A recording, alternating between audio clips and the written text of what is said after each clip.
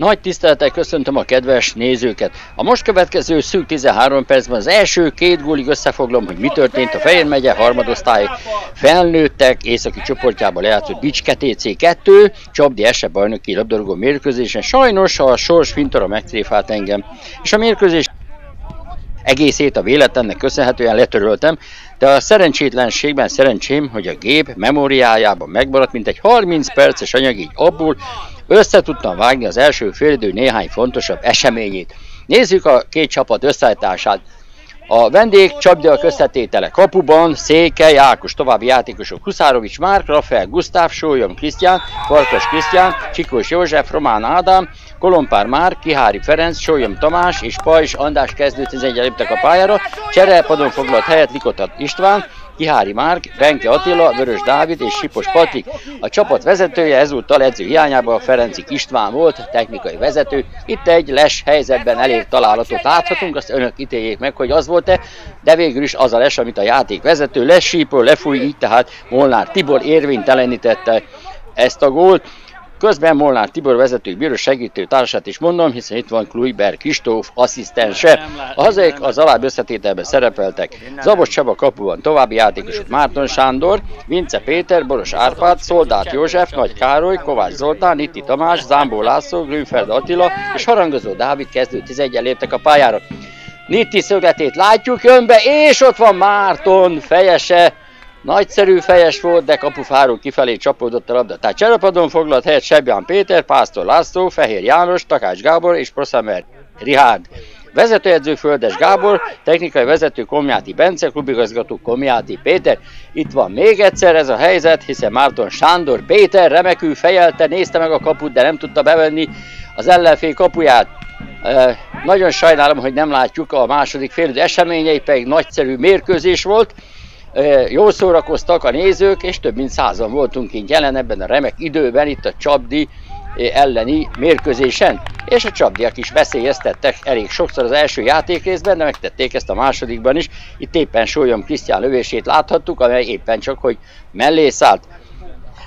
No kérem, akkor a két gólon kívül a történteket, hiszen sajnos csak két gólról tudok beszámolni, de összefoglalom, hogy mi történt ezen a találkozón, hiszen edzők távolétében Ferenci István elnök navigálta a portvonalról az erősen megfolyatolított, sokat futó és lelkes csapdi csapatát, amely nem csak keményen ellenállt, hanem gólveszélyes akciókat is indított az első fél órában. Annak vagyunk most szemtanúi, hiszen itt is egy helyzet a vendégek előtt.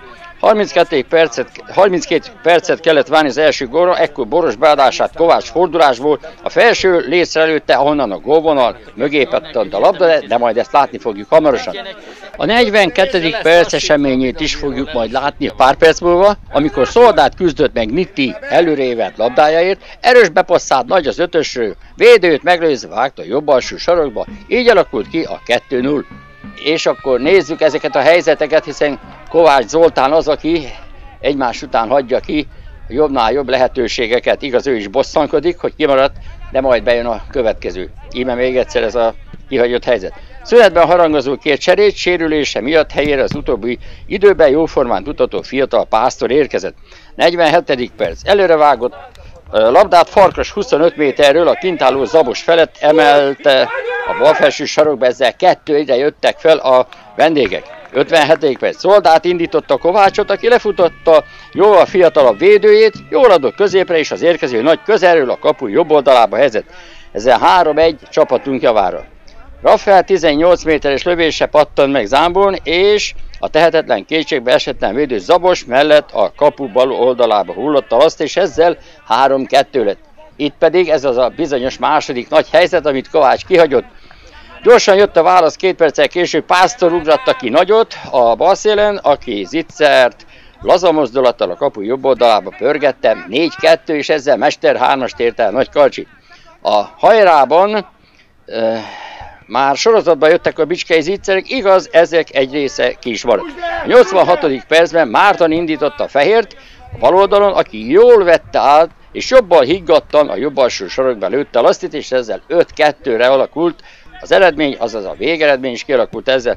Az utolsó percek eseménye, hogy Boros Hárpát szerencsétlenül esett a vállára egy ütközés során, a lefújás után mentő vitte a Székesfehérvári kórházba. Az első hírek szerint nincs törés, sem szakadás, de a ficam miatt így is kényszer pihenő vár a csapat egyik kulcsjátékosára. A következő fordulóban csapatunk a BTC 2 Velencén szerepelt, a második helyen volt versenyben álló Velence 2 csapata ellen, ahol nagyon komoly célkütűzések vannak labdarúgással kapcsolatban. Nos, Pál Istvánék, aki személy szerint már 47 éves, és második a gólövistán, itt a megy háromban, tehát Pálékat mindössze a több, győz, a több győzelemmel és gólkülönbséggel előzzük meg, de mindez nem lesz elég, ha csak egy pontot is veszítünk, mert akkor Velence, akinek a hátralévő meccsei könnyebbnek ígérkeznek, akkor pontszámban meg fog előzni bennünket. De azt kívánom, hogy mindez ne valósuljon meg, így a legnagyobb rivális ellen megtarthatjuk vezető pozíciónkat a táblázaton. Így saját kezünkben van, illetve lesz a sorsunk, hogy bajnokok leszünk-e vagy sem.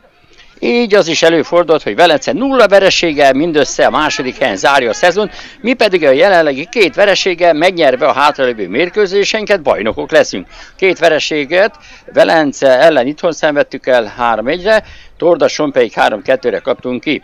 Csapatainknál így szezon közben mondják is többször, hogy evés közben jön meg az étvágy, mi is mondhatjuk ezt, hiszen így a szezon végéhez közeledve 2018-19-et hármas bajnoki címmel zárhatjuk le. Az ifik holt versenyben, de kevesebb győzelemmel állnak Mórral az első két helyen, a BTC 2 csapata több győzelemmel, szintén az első két helyen Velencével, felnőtt csapatunk pedig plusz 5 ponttal és egy mérkőzéssel kevesebbet játszva vezeti a megyei elsőosztályú tabellát. És akkor nézzük a forduló eredményeit. A 16. fordulóban megye 3-ban, Vértesacsa, Velence 2-3, Bicske, Csabdi 5-2, Lovasberény, Tordas 1-3, Alcsút, Etyek 5-1, Dinnyés, Újbarok 4-0, Kajászó, Gyúró 1-1. A megyei gólövő listát 16. forduló után Nagy Károly vezeti 24 találattal, Pál István, Velence játékosának 17 van, a Dinyés játékosának Malasics Gábor Csabának 16 találata van, ő áll a harmadik helyen, és akkor nézzük a Csabdi házi góllövőit, majd hamarosan közölni fogom a bicskelyekét is, de mai ellenfelünknél a házi góllövő listát Lendér Robert vezeti 5 találattal, Vince Máté Jenőnek 4, és három gólosok vannak hárman, Kolompár, Pajzs és Román Ádám, két gólosok vannak négyen, Bukó Dávid, Farkas Krisztián, Rafael Gusztáv és Sólyom Tamás. Egy gólosok Csikós József, Huszárovics Márk, Ihári Ferenc, Vince Márk és Vörös Dávid. Hamarosan fogom folytatni a megye három bajnokság 17. forduló eredményeivel, de most egy rendkívül fontos esemény lesz, amelyet végig követhetünk. No, akkor nézzük a baloldali támadásunknál. Szoldát Dani íveli be oda középre, nagy karcsi mellett elmegy a labda, itt még Boros eléri oldalvonal mellett, készül beadni, jön a beadás, egy fölpaton labda, Kovács lő, és ott a gól! Nagyszerű mozdulat volt Kovács Zoli részéről, fantasztikus mozdulattal vette be a csapdi a kapuját. Igaz, megy egy kis vita a játékvezetőnél, de Molnár Tibor játékvezető hajthatatlan és nagyon magabiztosan mutatod a középre, hogy bizony ez gól volt. Hát hamarosan meg fogjuk látni, hogy gól volt-e vagy sem, hát én is erre csak azt tudom mondani, hogy az a gól, amit a játékvezető megad. Boros beadását nézzük. Remek ez a labda, nem érnek bele, elvétik a Csabi Kovács fölpörgeti magának, és ott fönt a levegőben, jó másfél méter magasságban rúgja meg a labdát, és ott van. Talán még a kapus is beleért, de nem érdekes, hogy belét vagy sem a kapufáról bevágódik a labda oda a gólvonal mögé, ez igen, szép mozdulat volt Zolitól, nagyszerű mozdulat, és ezzel Zoltának megvan a hatodik idénybeli gólya. Ezzel a találattal a 33. percben egy nulla arányban vezetünk, tehát megtört a jég, és majd mostantól jöhetnek a többi gólok is, de addig gyorsan elmondom a 17. forduló eredményét. Tordas 2, Alcsudoboz 2-4, hát ez óriási meglepetés, Tordas 2-től mi kikaptunk, Alcsut ellen 4-4-et játszottunk, és most Alcsut legyőzte Tordas otthonába, Tordas 2. Gyúró 2-2, Lovasberény Csabdi 2-0, Velence Bicske 2-3-3, Dinnyés Vértesacsa 1-0, Kajászó Újbarok 5-1. A góllövő listán annyi változás van, hogy Nagy Károly 24 góljával tovább is vezet, 7 góllal Malasics Gábor Csaba előtt, hiszen Vinyés játékosa feljött a második helyre, holt versenyben Pál István Zoltán a Közben. Nézzük a támadást, mi lesz ebből a bicskeiből, mert itt, ahogy elnéztem, hősiesen mentettek a csapdiak szögletre, amelyből nem lett semmi. Baloldali támadás, Szoldát Dani jól cselezi magát, tisztára bead, a védőkről kipattan a labda, és most már kihozzák. És akkor nézzük a tabellát, illetve nézzük a két csapat hátralévő mérkőzéseit, mert Bicskének hátra van Dinnyés, idehaza, Kajász idegenben, Újbarok itthon, Acsa idegenben és Gyúró itthon. És akkor nézzük ezt a támadást, mert ez ígéretesnek ígérkezik bizonyám, de Kovács elvéti és a védő szeret szögletre. Jobbról a szögletet Nitti Tamás végzi elő a csapat legidősebb játékosa 42 élet évével. Vincéhez kerül a labda, Vince lő, de lövése mellésza. Tehát a legidősebb játékos Nitti, a szokásos szabadrugás és szöglet elrugás végzője. 39 éve Kovács Zoltán második legidősebb, és a rangsorban Zabos Csaba kapusunk mindössze 36 éves, de hát hol vannak ők? Pál István, Velence játékosáz, aki 47 évesen tartja itt a rekordot. Itt van a második gólunk, Szoldátani remek beadását, Nagy Karcsi bespárgázza kérem a 42. percben és megvan Karcsinak a 22. gólya, természetesen ezt a gólt szántam végezetül, hiszen több gólt már nem tudtam felvenni, elnézést kérek mindenkitől, aki nagyon szerette volna megnézni még a fönnmaradt 5 gólt, de végeredményben 5-2-re győztünk a Csapdi ellen. Góljainkat Kovács Zoltán, ő a hatodik gólját lőtte a szezonban, Nagy Karcsi, Nagy Károly, Nagy Károly mesterhármasában elérte a 24. gólját, Fehér János rugott a 87. percben egyet, így ő neki a harmadik gólya volt. Vendégek részéről 40. percben Farkas Krisztián László lőtt egy gólt, ő neki ez már második találata volt, és Rafael Gustavo 79. percben lőtt egyet, és így alakult ki az 5-2-es végeredmény. Na kérem még elmondom, hogy a Velencének is vannak még mérkőzései.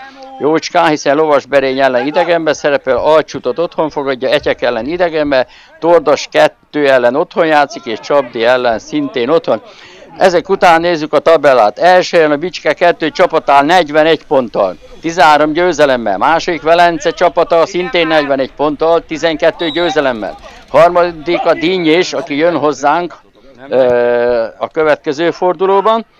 Negy, 37 pontja van, negyedik alcsú doboznak 32, Tordas 2-nek 30, hatodik helyzet Kajászónak 22 pontja van, hetedik Gyúrónak 21, nyolcadik helyzet Etyeknek 17, ugyanannyi pontja van Vértesacsának, tizedik helyezett Lovasberinnek 12, 11. helyezett Újbaroknak 9, és a 12. helyzet Csabdinak 8 pontja van. Végezetül a házi gólövünk Nagy Károly 24 gólos, Takás Gábor 10, 6 gólos Kovács Zoltán, Pásztor László 4 gólos, Boros Árpád, 3 gólosok Fehér János, Márton Sándor, Máté Szabolcs és Sebján Péter, 2 gólos Buda Péter és Vince Péter, 1 gólos Agyagás Jákos, Titti Tamás és Olá András. Köszönöm megtisztelő figyelmüket, viszont halásra!